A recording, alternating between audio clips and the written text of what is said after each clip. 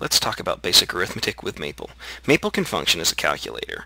If you launch Maple and it's in worksheet mode, you'll have these little prompts here. And it's really simple. If you wanted to add 54 and 3 together, well, you just type in 54 plus 3. The only thing you have to remember is that you would include a semicolon at the end. When you hit enter, Maple says that the answer is 57, and it gives you what's called a line number, and we'll talk about those later. If you want to subtract, well, you can take 54 minus 3, and hit uh, semicolon, hit enter, and it tells you 51. If you want to multiply, well, by now I bet most of you know that to do multiplication on the computer you use star. So 54 star 3 would give me the product 162. And to do division, you'd use slash. 54 divided by 3 is that. 18.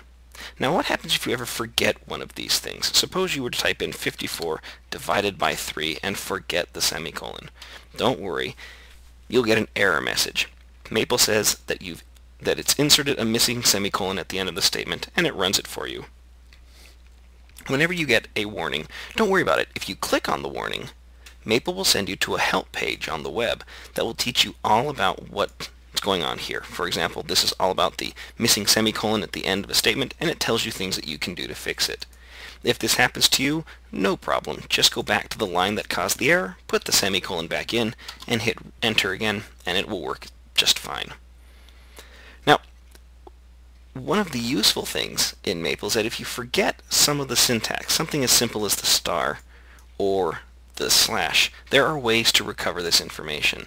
One of the useful ones for us is going to be over here called the expressions palette.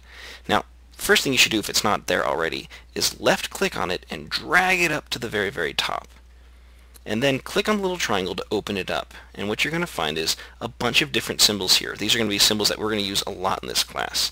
So for example, if you ever forgot how to multiply in Maple, but you remember that dot is the symbol in a math class, then I can click on this and it will give me a template, a format for doing a times b. So if I wanted to do the 54 times 3 again, I can fill in the blanks and get the number right there. For example, what if we wanted to get the square root of 54, but we didn't know what the command is? Well, there, there it is. There's the symbol for square root. If I click on that, then I find that the maple command for square root is squirt, S-Q-R-T. I type in 54, and Maple tells me that the square root of 54 is 3 square root of 6.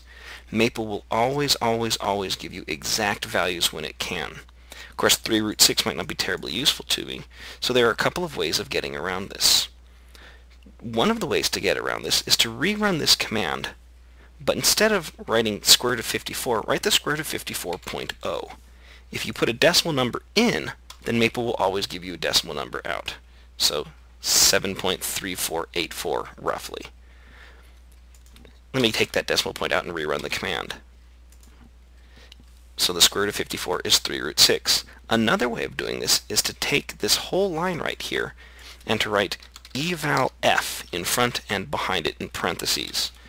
The eval f stands for evaluate as a floating point number, as a decimal. And if I rerun this command right here, I again get the same output that I had before.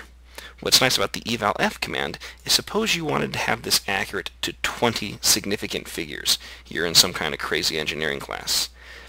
If I go after the word evalf, but before the parentheses, and put bracket 20, bracket and rerun the command, then I'll have this to 20 significant figures.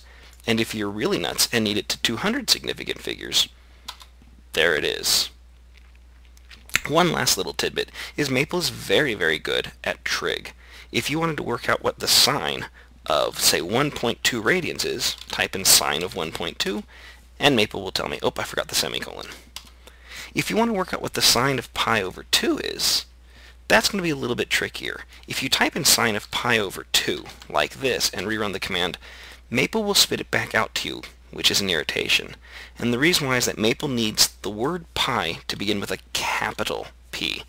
So semicolons and capital pi's are two things to keep in mind. If I run the sine of pi over 2, then I find out that it's 1. If I run the sine of pi over 6, then I find out, oops, let's rerun that. The sine of pi over 6 is 1 half and suddenly Maple is as good as any trig student. So there's the very, very basics